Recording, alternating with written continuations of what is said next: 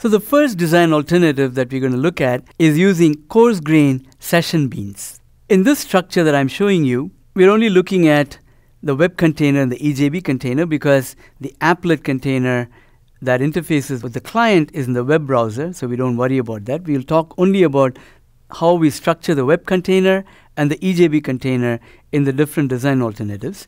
So the web container contains the presentation logic. And in the structure that I'm showing you, a servlet corresponds to an individual session with a particular client. So this box represents a particular client, this box represents a second client, and there's a presentation logic commensurate with servlet 1, that is client number 1, and similarly presentation logic commensurate with servlet 2, which is client number 2, and there is a coarse grain session bean that is associated with each of these servlet.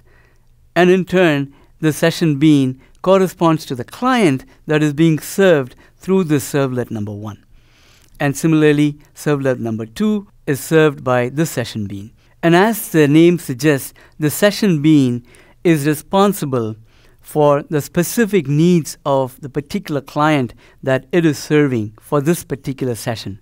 Therefore, the session bean will worry about the data accesses that are needed to the database in order for the business logic to do its thing. So, if let's say we are doing an airline reservation system, and if this is requesting a particular booking, then the session bean is going to be the one that contacts the database server in order to pull the specific dates and airline reservation information that is needed for the business logic to do the pruning and selection commensurate with whatever this particular client has requested. And there are multiple sessions that are contained in this EJB container depending on the number of clients that have simultaneously, temporally made uh, requests to this particular service. So the EJB container has to provide some service for all the sessions that are concurrently going on in this server all of the data accesses that are needed for a particular session is taken care of by the session bean. And therefore, the amount of help that we need from the EJB container in terms of services is pretty minimal for supporting this particular model. And, and in fact, it is confined to any conflicts that might arise in terms of external accesses for satisfying the requests of these different session beans. So the EJB container service that would be needed is primarily for coordinating, if any, across concurrent independent sessions. An example would be if they want to access the same portion of the database for writing some records. In that case, they may need some coordination help from the EJB container service.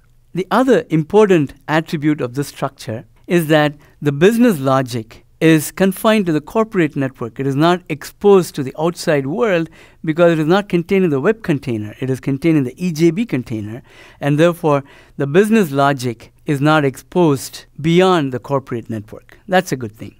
So, the pros of this particular structure is that you need minimal container services and also that the business logic is not exposed to the outside world.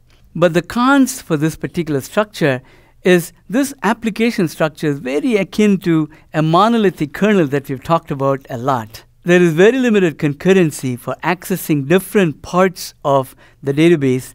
For instance, I mentioned that these services provided by these giant scale services tend to be embarrassingly parallel. So there's lots of opportunities for pulling in data. Example would be let's say that the particular query is to compile demographic distribution of all the employees in the company.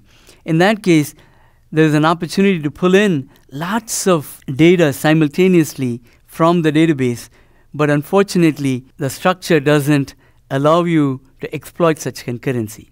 So, in other words, this coarse grain session bean structure represents a lost opportunity for accessing and pulling lots of data from the database in parallel for satisfying either the same request or even concurrent requests that may be accessing the same portions of the same database.